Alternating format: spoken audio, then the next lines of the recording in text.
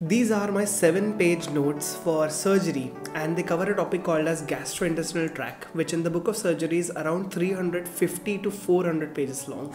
So how did I compress this topic which was so huge into just 7 pages? For urology which is a separate book in itself in just 5 pages, trauma in 3 pages and breast in just 2 pages. So I can effectively revise the entire part of surgery in less than 25 pages and I can guarantee that I'll solve 90% questions correctly just by using these very concise high yield notes. So how did I actually make these notes? The entire process that goes behind it, how every single word in this particular notes has been thought and crafted. And in this video, I'll be telling you no matter what the subject, it can be surgery, it can be medicine, or it can be criminology, or it can be science. You can use this method to make extremely concise, extremely high yield notes that you can read one day before the exam and still get most of the questions correct. If you didn't know me, hi, I'm Dr. Anuj Pachhel, an MBBS intern working at GMC Nagpur, and welcome back to my channel. If you haven't subscribed already, please consider doing so. Videos such as this one one. So let's see what actually happens when you're reading the topic for the first time and trying to make notes from it at the same time. You just end up making the revised version of that book or that topic in your notebook and that's not the purpose of making notes your purpose of making notes is not to make a revised edition तुमको सब पूरा detail उतना ही नहीं लिखना है you have to see what is important and then you have to finally write down only the things which are actually going to be reading during my MBBS days I made so many of these revised edition textbooks of my own like hundreds of pages I didn't even read it once after I was done making them. I have a seven step program, and using these seven steps, you will be able to achieve the same amount of results that I am achieving with respect to the notes. So, the first point is absolutely very simple it is to understand the topic. Okay, let's take a simple example of this chapter called as the liver. In liver, we've got so many diseases that we read in surgery, right from benign to malignant to inflammatory to traumatic, and all of these diseases have different presentations, different modalities of treatment, different imaging modalities, and different clinical presentations. The first step is to actually open the textbook and read everything in detail, understand everything in detail. And the main key is to understand because if you don't understand, no matter how concise your notes are, your brain won't be able to connect the dots in order for your notes to work. So, what we're actually going to be doing when you are making notes is we are going to be just writing certain keywords, and your brain will automatically pick up those keywords and understand the entire topic by just a few words. The only way you can understand it is by actually reading it first and trying to form the concepts in your head before you actually take notes. So I think the first step is very very clear is to understand the topic using either textbook or video lectures or both or even if your friend taught it it works अगर तुम्हें समझ रहा है तो you are done Secondly, do you recall how I actually told you what is the syllabus that we study in liver? We study it on the basis of topics such as benign disease of the liver, malignant disease of the liver, inflammatory, traumatic, and this are this is actually how we have grouped the diseases into the subheading of this topic called as liver. So what I'm trying to say is that when you're reading, try to make a classification of that chapter in your own head like I said, liver में malignant diseases है you've got three to four cancers which are very very commonly asked in liver. In benign disease you've got just a few. In traumatic you've traumatic liver injury, and lastly in inflammatory you've got certain hepatitis and all of that. So this is this is how you actually study the liver. And whenever you think of this organ liver, you think of it in these four terms. Another great example for this eh, with respect to biology is the respiratory system. For example, you think about it as the airways, the lung. In the lung, we've got the parenchyma, we've got the airways once again, we've got the interstitium. So, any disease, it will basically affect just these three things. There is no lung pathology which will affect anything else apart from this. Airway की अलग disease होती है, interstitium की अलग diseases होती है, parenchyma की अलग diseases होती है, and that's how we actually classify, classify and remember the systems of whatever you are studying. Haphazardly, your brain is going to forget everything. So, my second point was to to understand the classification. If there is no classification, then invent a classification of your own because the classification system is must for your brain to remember that thing for a long period of time. So देख रहे those steps okay but we have still not gotten into the making notes part because notes are only supposed to work when you actually know the topic very well they won't work especially the concise notes won't work if you don't know the topic well enough again key words हम use करने वाले notes बनाने के लिए and to understand key words you should be knowing concept very well the third point is where we actually start making notes in the first place so the third point is called as limiting the detail okay so before you even write down something in your notebook okay just whatever topic you're reading highlight only and only the key word I know पूरी highlight करने की इच्छा होती है, वो मत करना, बहुत खराब हो जाएगा, सब पूरी बुक येल्लो हो जाएगी। highlight only and only the very important keywords. That will help you filter out all the filler information which is given. If you feel like highlighting is not something for you, books already mention everything in bold manner. So whatever is bold is probably important for you. Now that you've done that, isolate the most frequently asked topics. Liver में बहुत सारे diseases है, but they don't ask questions from every disease. They ask questions from only like 10-15 of the most high yield diseases. So now my mind has segregated. Okay, these are the 15 diseases that you have to focus your mind on. Secondly, these are the important keywords from these diseases that you should be knowing. For example, there is a disease called as alpha 1 antitrypsin deficiency. It causes cirrhosis of the liver. The main question from liver they ask us is the gene. So the gene is called as SERPINA gene. Just remember alpha 1 antitrypsin deficiency in liver is SERPINA gene. Baki ki entire pathophysiology you can leave behind because that is not what is asked upon. What is asked upon is SERPINA gene. But since you have read and understood the topic very well, by default when you read alpha 1 antitrypsin deficiency of liver, you will automatically think about the entire pathology and the, uh, the etiology and everything. But what is asked upon is SERPINA.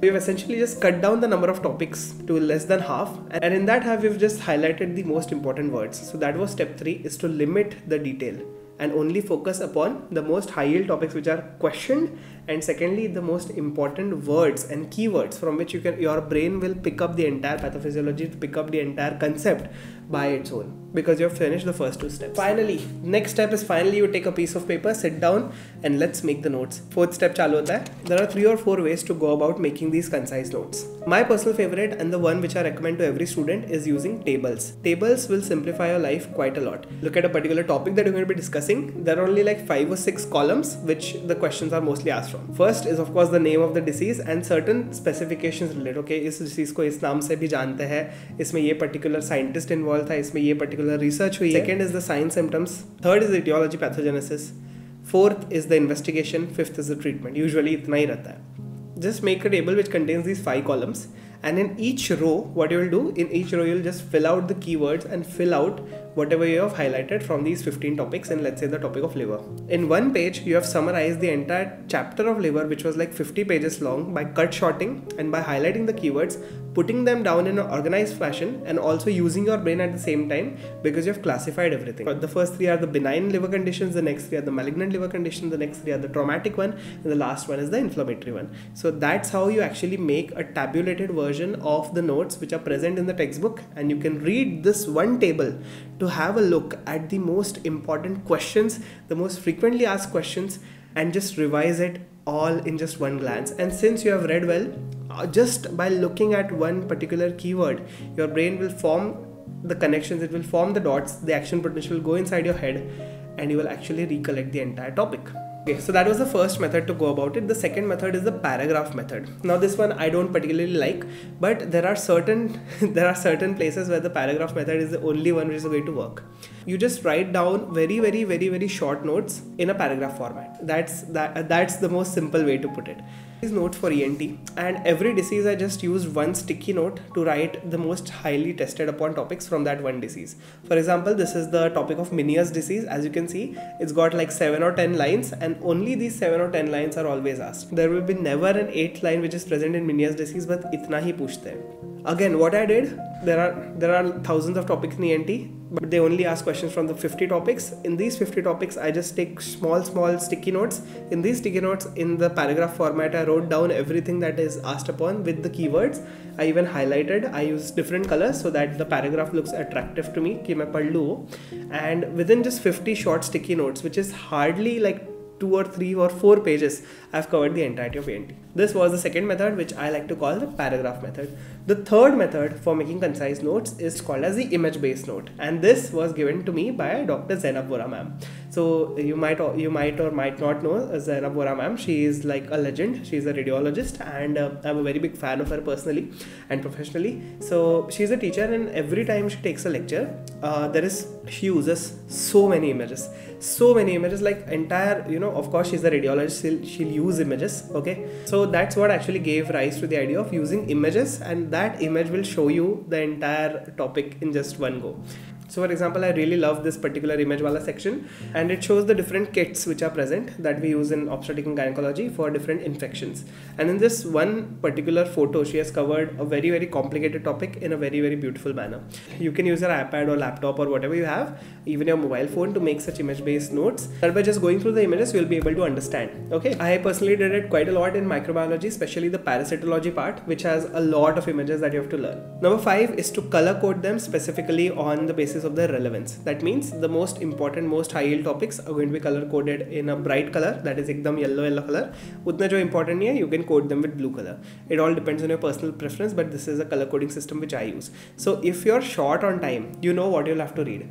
You you can easily skip over the blue ones because you feel like those are not important, but just always always remember कि yellow वाले तो पढ़ के ही जाना. So that way you are further concising your notes to only the most important, most high yield things which you have, uh, which are asked upon in the exam. Point number six is very very essential. It is as essential as making the notes in the first place. Is to updating the notes. What do you mean by updating the notes? So you have read the topic very well, you understood it, classify कर लिया है, notes ले लिए, concise notes भी ले लिए. Now when you solve the question, you are supposed to get most of the questions correct, and you definitely will. But what happens to the questions which are actually important and you get them wrong? These questions have to be added to the concise notes which you have prepared because you know कि ये already आ चुका है and second of all it will make your notes extremely high yield once again. And we now move on to the last point is to keep them very very clean and very very readable. It's obviously i don't have to go into detail about this but if you have a good clean note uh, you will definitely read it more than if you have a very very haphazardly made notes. But guys the video does not end here. That's because i like to provide you information which is complete and therefore i request you guys to subscribe to the channel if you have not done already. So please consider subscribing. To Potent gang that means we are able to do anything everything we are able to differentiate into any cell that we want. Anyways, the second part of this video is actually how to revise the notes which have made again and again. Because that's the thing yaar tum ek concise notes bana loge then you'll keep it in the almari you'll forget about it and 6 years later when you're cleaning the almari you'll get oh no i should have probably read this when i had the time right? And so let's avoid that mistake in the first place Number one, paste these notes onto your walls uh, in a place that you're going to be looking quite a lot at. For example, the moment I wake up, my eyes directly go to parasitology and the notes which I've made for that because that is that was one of my weakest sections. But since the first thing that I actually wake up and look at was parasites, I understood the parasites. I never make a mistake in solving the parasite wale questions.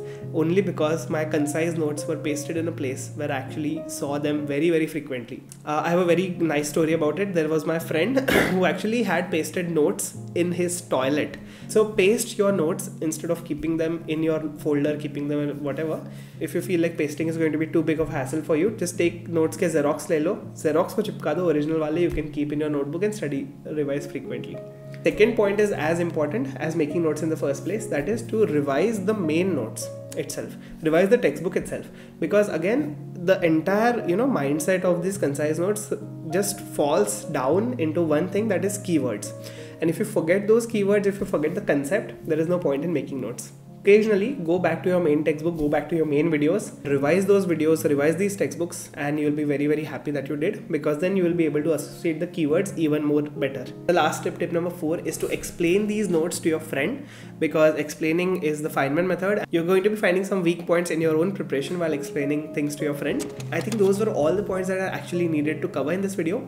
And if you did enjoy please make sure to subscribe. So close to a million. Let's go over there very very fast. With that if you feel like you still have some doubts comment down below i'll definitely reply. Thank you so much. Take care. I'll see you in the next one. Is dr Pachhel signing out. Bye